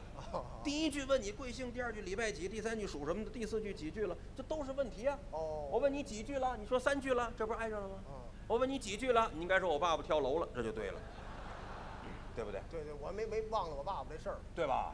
五个问题，对没废话，没废话每句都算。好，怎么样再来，再来一回，再来，还是五句，我留神了，还是五句，没没问题。每句都算啊。哎，好嘞，开始啊，嗯，贵姓啊？我有痔疮，今天星期几？灯泡够亮的，你属什么的？这话筒是新的。几句了？Thank you very much。哎呀，又错了吧？没有啊，哎，错了。这脑子行不行啊？这玩意儿一测就测出来不。是等会儿这正好是第五个问题，什么第五个问题啊？又错了吧？问号？没有啊，你错了。这也是问题啊。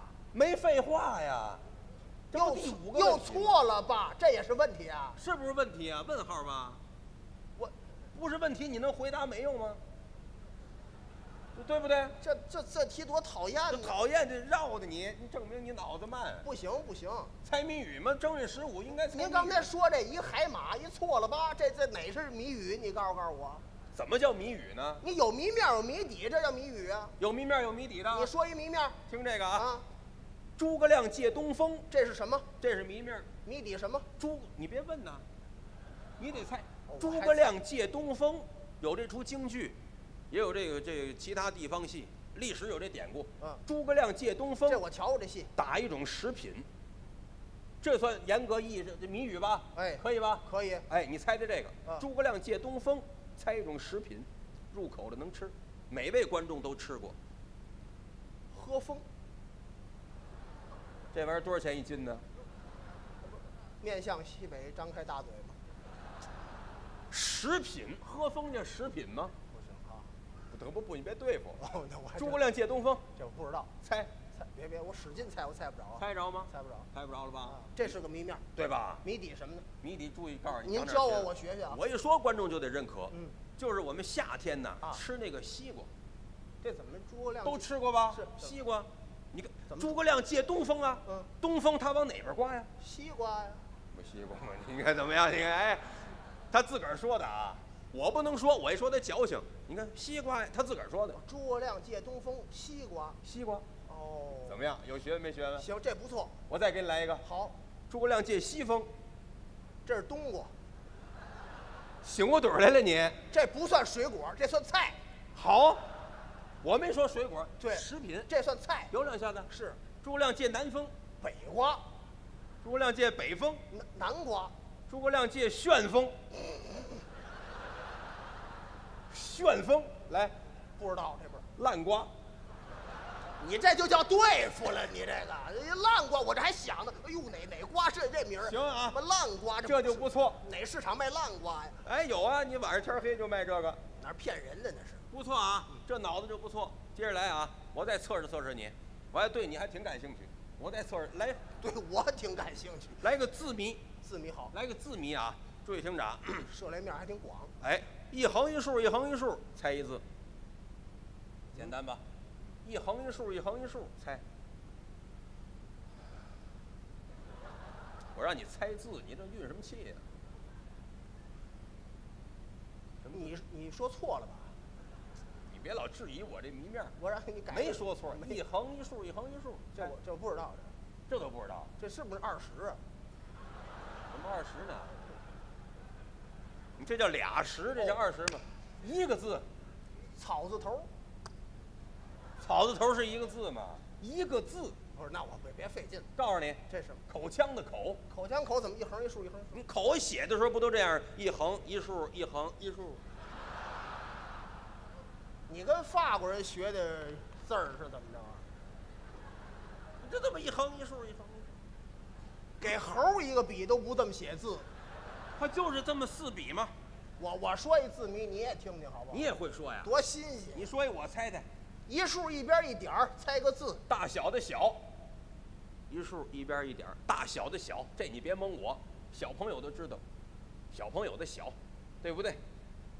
不对，你看咬牙愣说不对，那你公布一竖一边一点儿，不是小是什么？补补，萝卜的补，胡萝卜那补，对，那怎么一竖一边一点儿呢？一竖啊，一边一点儿，一竖一边一点儿，这边呢？那边没有啊，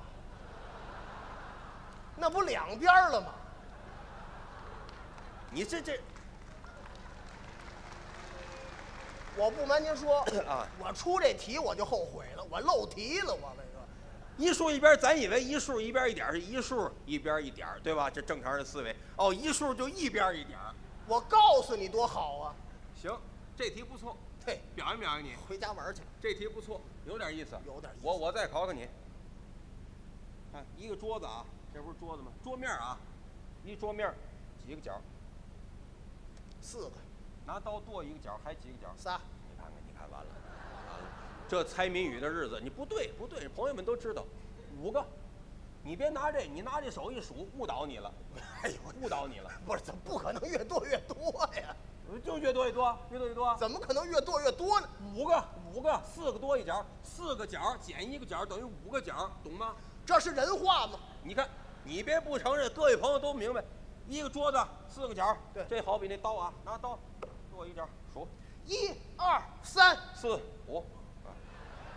啊这桌子东西多一点，乱一点也能看明白。一二三四，哦，这这钝角也算。是角吗？锐角、直角、钝角、平角、周角，这都是角啊。不是刚才，钝角凭什么不算啊？刚才这花儿干扰我了。你你别找客观，干扰我客观。再来一回，一桌子几个角？四个、拿刀剁下两个角，还有几个角？六个，不对，嗯，还是四个。怎么还是四个呀？你这样剁，去去去去去去？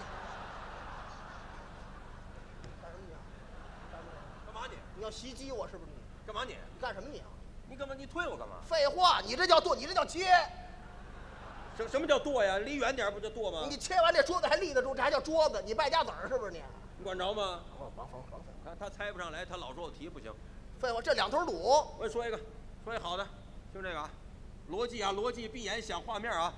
我这逻辑思维行吗？真闭眼假闭眼啊？你随便，你想出画面感，行行，你说吧，画面感啊。我的故事都说完了。厅长，说啊，别害怕行吗？我还真不敢闭，闭眼他给我一嘴巴。我跟你说，他有这经验是吧？对我上回挨过一回，哎哎，你看着点我，上回是右脸。别害怕啊。哎，哎说西屋里是个牛棚，懂吗？这句话明白呀、啊，西屋里边是个牛棚，哎，牛棚里边有匹驴，什么？嗯，西屋里边是牛棚，驴上牛棚里边去了。行不？可以不可以吧？可以可以，可以吗？我阻止不了驴啊。对吧？这是谜面儿，你别老干扰我，我我这是逻辑性很强。我得闭眼想哦，西屋牛棚，牛棚有驴，想啊，说西屋里是个牛棚，哎，牛棚里边有匹驴，西屋，把牛牵出来呢，往东啊，把把谁牵出来？你这他你把这字眼说清楚了，是驴牵出来，牛牛牵。牛牛啊，西屋是牛棚，有头驴牵出头牛来。它是牛棚，那驴是点缀啊，它不能光有一驴啊，行行行行啊，它还有牛呢，我能听明白就得，对不对？别给我插回来好。一会儿干一会儿得出来马了是吧？是不是啊？你别你别你别掺和啊，我不掺和。你别出题啊。你。看这题我头头一回听。西屋里是个牛棚，哎，里边有匹驴，好，把牛牵出来呢，哎，往东走了三里，往东走啊。往东走了三里，嗯。然后呢，一拐弯往北啊，走了二里，嗯方向啊，方向跟距离啊啊，，北。然后扭过头来，往这牛的这个七点钟方向啊，七点钟方向是怎么怎么方向啊？又走了十五里，七点钟就是哦，这这十五里，嗯，然后呢，拐过身来，又往东啊，走了二百二十八公里，好家伙，累死这牛了。然后问那个牛啊，想不想那驴？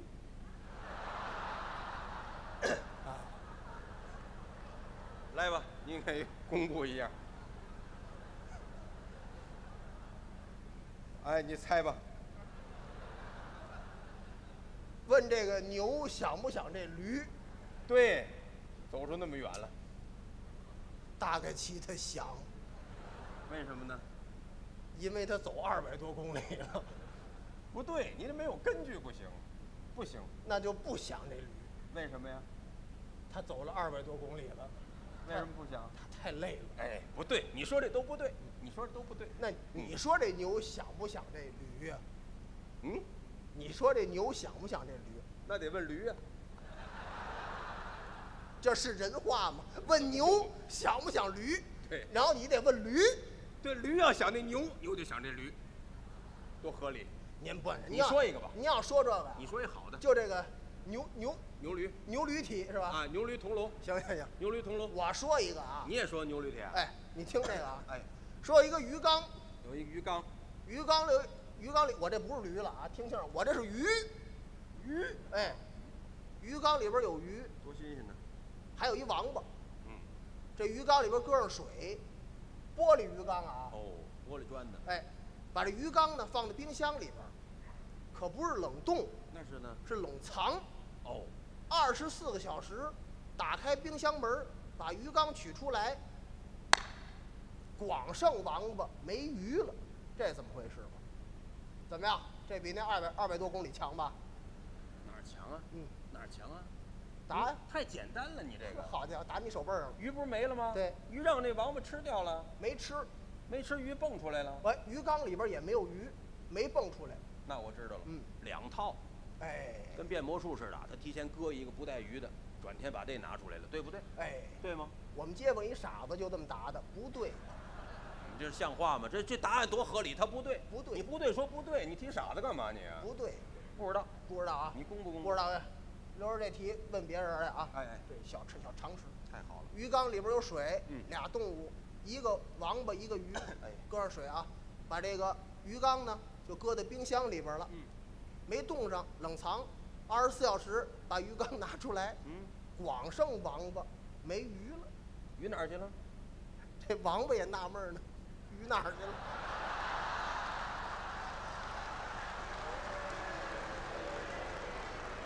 什么玩意儿啊？你说这叫人身攻击呀、这就叫人身攻击，拿人开心，拿人开心，他自己一乐，你这有什么意思？我没，我并没有乐，有什么意思？我并没有落。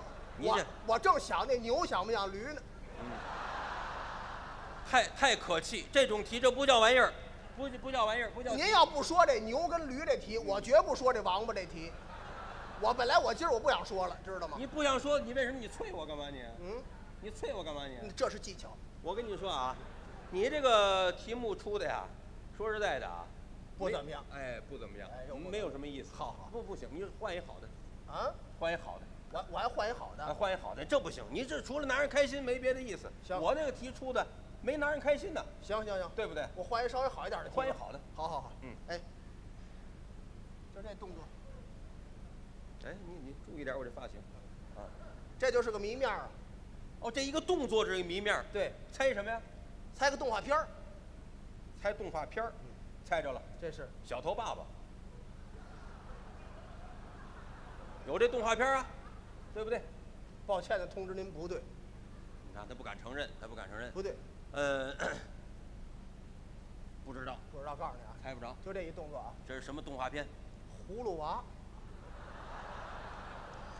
哦，这一动作，这是一个动画片哎，葫芦娃。你这这没挖苦人吧？这个？这这这这我也会啊，是吗？你这这我这一动作，我这一动作，葫芦。你你你猜一国家，哟，那我不知道。巴拉圭，这这这这这这这这，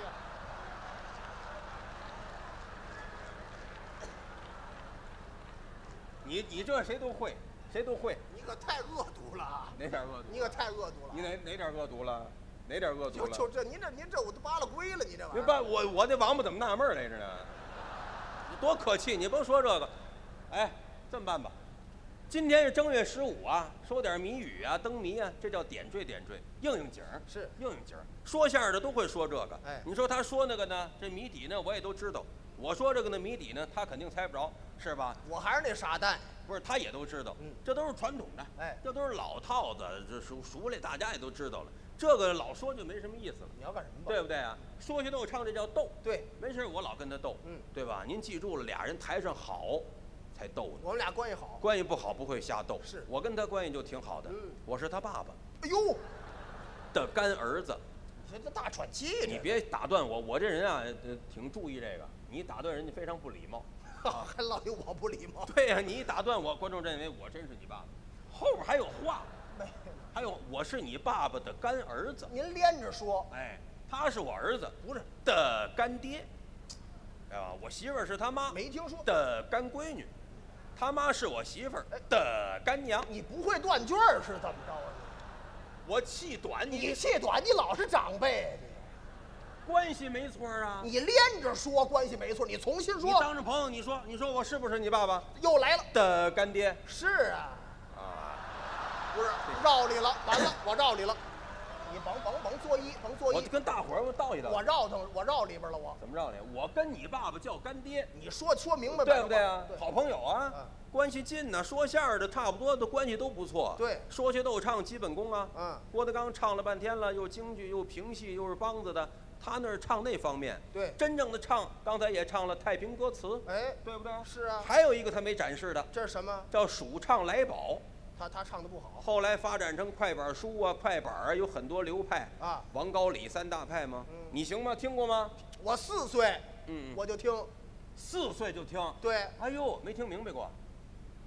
怎么我就没听明白过呀？在这儿我展示展示，展示展示，当着朋友们我来一段啊，我来段你就没听过。怎么可能？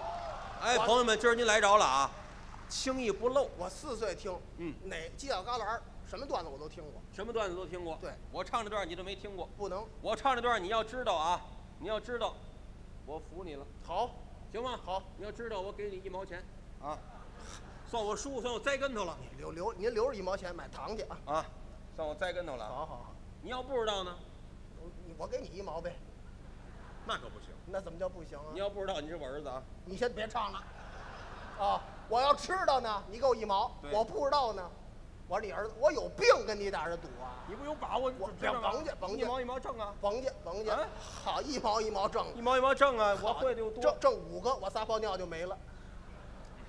你准不知道。我卖卖力气，听着卖。卖卖卖什么力气？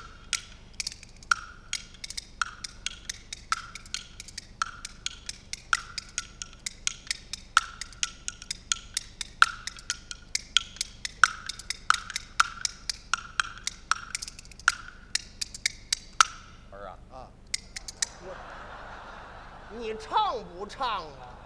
你拦着我怎么唱啊？你拦我？废话，你要不喊我呢？我看你听着没听着？哦哦，你喊儿我就听着呢。我喊完你要没答应，哦，这小子没听着，那我就别唱了。你甭去，不要这个，不要这哎，个还，真行，听着了，不，你听着。你甭甭甭不要这个啊！注意啊，注意啊刚才挺文明儿一人。注意啊！二十一岁的小寡妇，少兴没神儿啊，思想起了奴家好命苦，我这过了门的范白裙儿，死了那个栾云皮儿啊，过了门别嚷。这不是这哎死了哎，你看着，你吓我一跳，你知道吗？你吓吓我一跳我吓死你都不冤。凭什么呀？这词儿是死了那个当家人儿，当家人就是栾云皮儿，就你，这段叫小寡妇上坟儿对。王派王凤山，这你肯定知道，这你们家事儿，你能不知道吗？你？甭甭说我们家这老段子，我再来一段，你听这段。陈旧啊。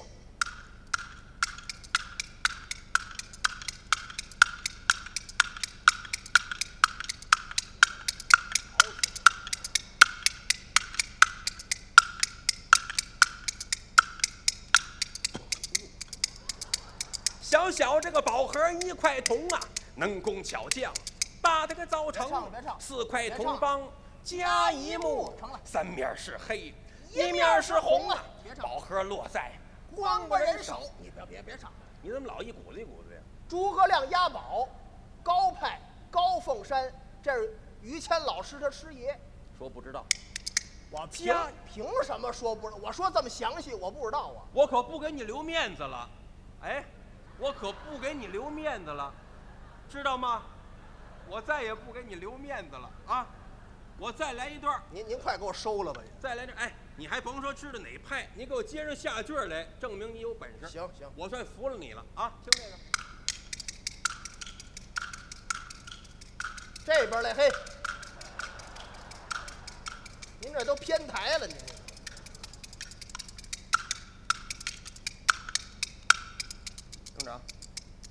我说的是，高高山上有两只羊，我这个小段儿就这么长。来，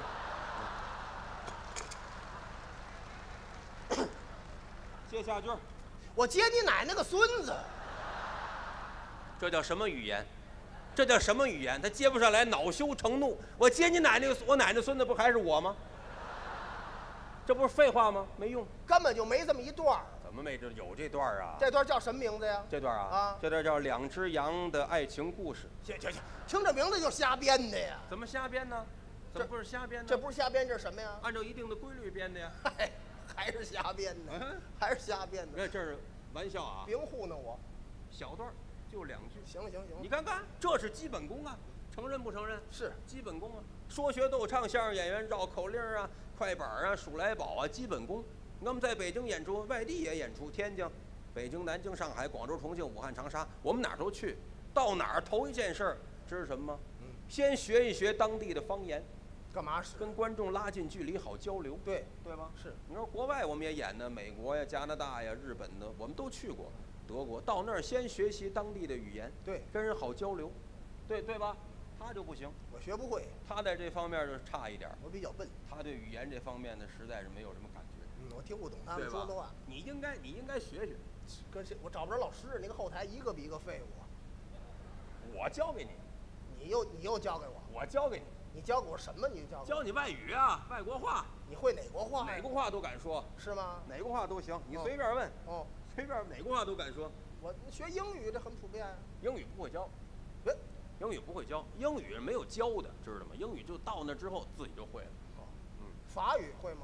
法语不会教，德语会吗？德语没听说过，哎，要不然我教给你一点得了。你这什么都不成啊！什么都不成，没有这么问的，有这么问的。哎，英语你会吗？法语这是学习的态度吗？嗯写信有这样的，你跟郭德纲学相声，哎，郭德纲来报菜名我听听，来砸一唱，来砸一唱我听听。他这就给人拴对儿。他教给你吗？你跟我你客气点儿啊，你面带笑容怎么了？行行你看这个倒霉仪容，你看看。咱大正月十五咱别说这个啊。我爱说，乐点问，问吧，那我问什么呀？我问，你学什么问什么呀？你能教给我点法语吗？不会，不能不会。我踹你了啊不会行吗？不会怎么你干嘛不会行吗？当然会了，因为我经常我去法国，法语我说的最好。法国有个塔吧，大雁塔，大家谁没去过？是不是？法国那塔不叫大雁塔，大雁塔在西安呢，知道吗？这不让吸烟，吸烟您上外头。我不是要吸烟的，法国那个塔，这叫埃，埃及金字塔，对吗？那在埃及，知道吗？我在那儿当过法老，假的，这多不多？对了，你当搂不了着搂着游客照相的。法老搂着人家照相。不对对对不不不行，嗯，这叫埃菲尔埃菲尔蛋塔，铁，铁桶，埃菲尔铁桶，埃菲尔铁塔，铁塔，铁塔。我经常在铁塔区那儿附近溜达呀，溜达达，那儿话我都会说，是法语说的不错，好说的相当流利。嗯你问我什么，我教你什么，我我我那我法语简单点你问问，行，呃，那我随便问了啊。随便问，生活用品，法国得有啊，什么？法国没有别问。什么叫法国？豆汁儿啊、爆肚啊，这玩意儿翻译不了，法国没有，法国有的就能问，这你要不说这词儿，我也想不起来。法国有的，帽子，法国没有。问吧，你听见我说什么了吗？嗯，耗子吗？人这除四害好极了。哎呀，啊，我问的不是耗子，什么呀？帽子。帽子法国有，嗯，帽子没法说，怎么也是草帽、礼帽、皮帽子、泳帽是吧？是毡帽、帽头、护士帽，这怎么说呀？法国人穿一西服，戴泳帽，好看吗？那个我让你穿西服戴了，你穿泳装的时候戴啊，哎对不对啊？不是，就帽子这俩字，统称好啊，帽子叫那迪，法语绝对是法语。你说了吗？说完了，你以为撒气呢吧？朋友们，您要是懂得法语，您就呵给我叫好，说相声还懂法语。now 滴，你看你看同学都来了，你看，now 滴，这这这这，你牙掉了是怎么？now 滴，呃，眼镜儿，眼镜儿叫鼻子上边，多形象，鼻子上边。您您这法语我听着那么耳熟啊？去过法国吗？没有，那怎么会耳熟呢？就是不对，鼻子上边。我要问您啊，嗯，鞋怎么说？哎，这袜子，满意吗？你有点太直白了吧？怎么直白呢？法国巴黎正音啊这，我正音啊！这我都快听出来了都，你不会法语，是吗你？听不出来，哎，吃的什么可以问吗？吃什么都行，花生、剥了皮儿吃，樱桃呢？涂了核吃，橘子呢？剥了皮儿涂了核吃。问的很有代表性。好，是吧？好，哎，嗯，棒子面粥怎么说呀？法国没有，有，法国不喝这个我给他们熬去。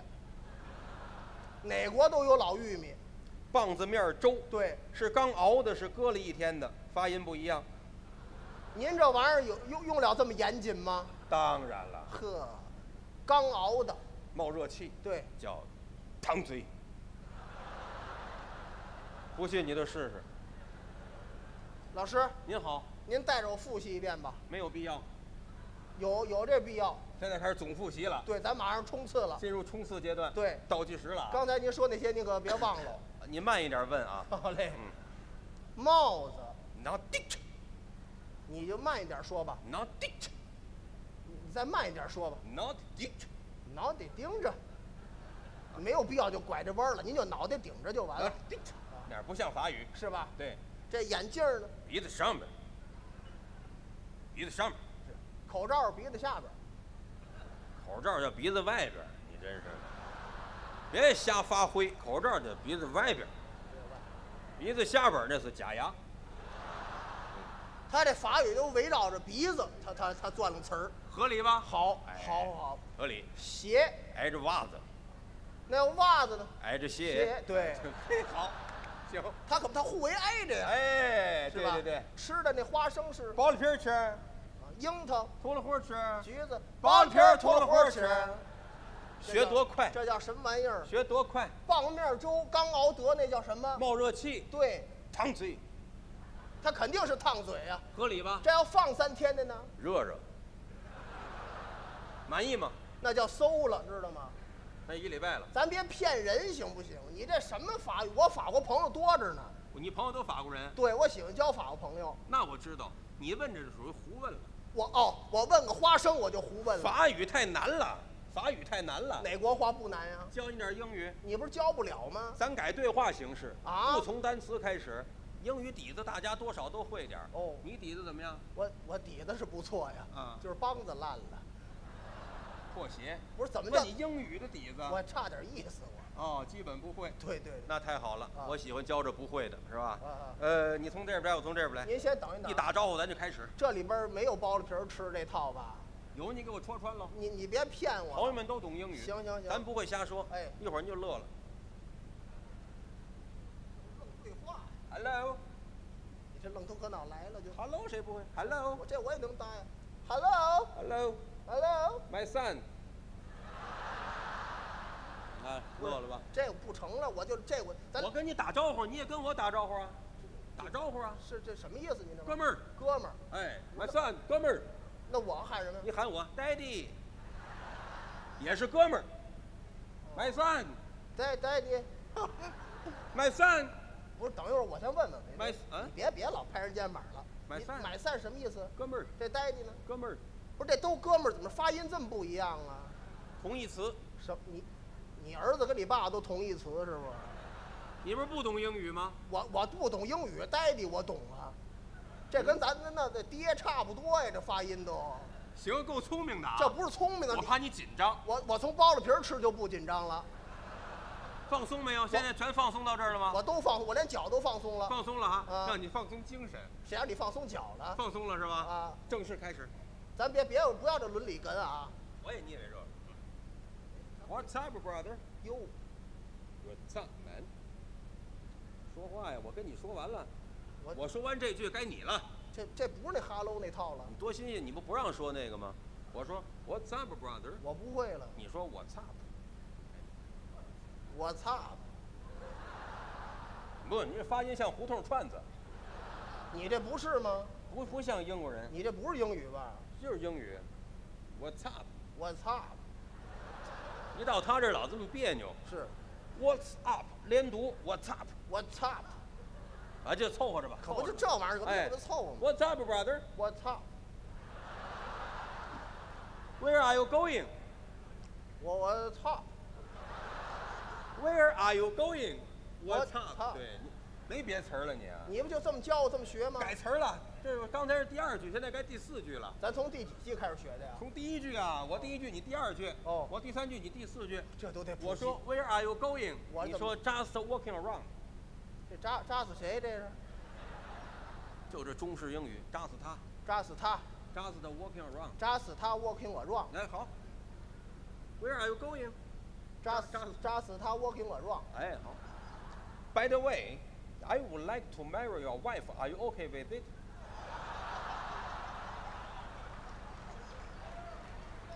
快点，该你了。我操！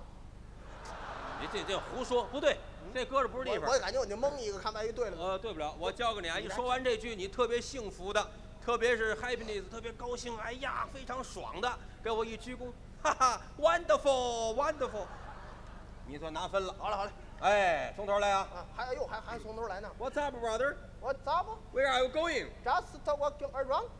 By the way, 嗯 I would like to marry your wife. Are you okay with it? Wonderful, wonderful。好吧，行，是吧？有点意思。词儿都拿下来吧。，哎，不错，马上脱稿，情绪稍微差一点，再高兴高兴，高兴一点。更完美了嗯啊！以后有机会吧，有哎机会我带你上外国，老师，跟人家咱啊，老师，您刚才教我这套都什么意思？意思没必要知道，记住词儿就可以了。别介，我学学，掌握掌握，到时候后台他们不会，我教他们呀。不用教他们干嘛？他们不学这个，别跟他们说啊，尤其跟郭德纲不能说啊，不能说我。说说这怎么，我也便秘学问哎，不行，啊？他会揍你的。你说的不地道，那能不我们老师特别特别好，知道吗？是吗不会揍我的。啊？我们老师就是好。哎，那不行，不，你不不不能告诉你你这这别别，你狗脾气，不是我是我承认我狗脾气。对呀你教教我学能耐，我怕什么的呀？真学哈，真学呀 What's up, brother？这什么意思？你最近挺好的，啊，我这这有怕什么？这我咋不？也是啊，我挺好，你挺好的。哦，你你瞎大个，你说这呢？闲聊天。Where are you going？嗯，你打算干嘛去啊？我这扎死他这个呢，Just walking around。什么意思没事，我溜达溜达，溜溜达吧。这不很好吗？你那挺长那套呢。你说那个 By the way, I would like marry my wife. Are you okay with it？这不能告诉你，告诉你你恼了。我我恼你干嘛？你一生气怎么办？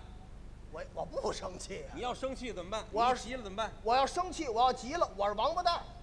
这是你说的啊。对，我把这意，思告诉你，你一生气，嗯，一瞪眼，你王八蛋。我王八蛋。早知道你那么随和，我连 wonderful 一块儿告诉你。当然，你不就问那个 By the way, I would like marry my my wife. Are you okay with it？不就这个吗？什么意思呢？就是说让你媳妇儿嫁给我，问你乐意不乐意？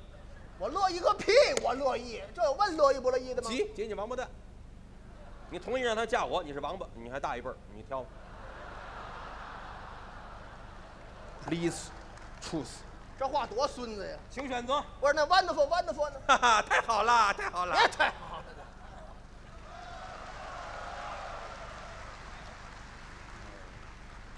这世界很酷。